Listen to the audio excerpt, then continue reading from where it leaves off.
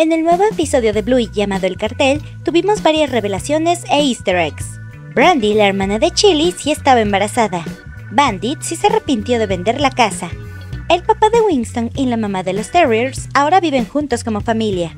La mariposa llamada Floppy del episodio de Lila y Bingo vuelve a aparecer para dar tal cual un efecto mariposa para poder encontrar a Frisky quien huyó. El auto de Bluey se llama Bobo. Al fin se revela que el papá de Bandit no había aparecido porque se fue a un retiro espiritual a la India.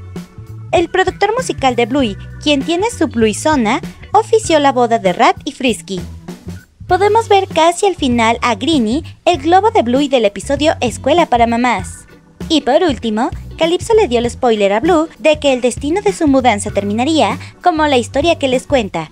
En resumen, todo saldrá como debe salir. ¿Y tú qué opinas de